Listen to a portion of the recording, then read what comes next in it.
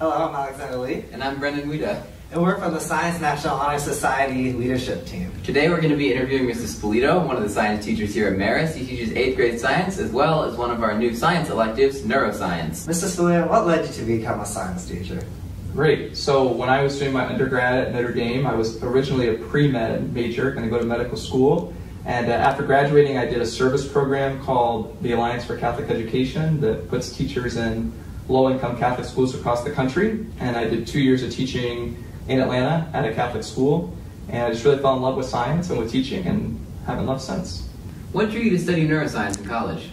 So I think I was drawn to neuroscience because I feel like everyone we're interested in the human mind, like how we got to this point of being able to be conscious, to be alive, to understand how we think, how we feel, how we see. Um, it's just such a fascinating field, and there's so much to be discovered in it. And I was drawn to that in particular. What's been t- different teaching high schoolers compared to like eighth graders? Oh, well, the first thing is the seniors laugh at my jokes. I mean, the eighth graders just kind of look at me, and I just don't know what to do.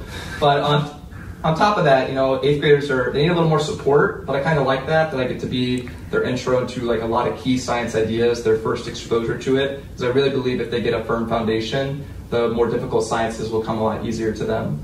Um, but then teaching seniors, I'd really love to be able to go a little bit deeper into content that really isn't like appropriate for an eighth grader to be doing, and that's also been really exciting for me.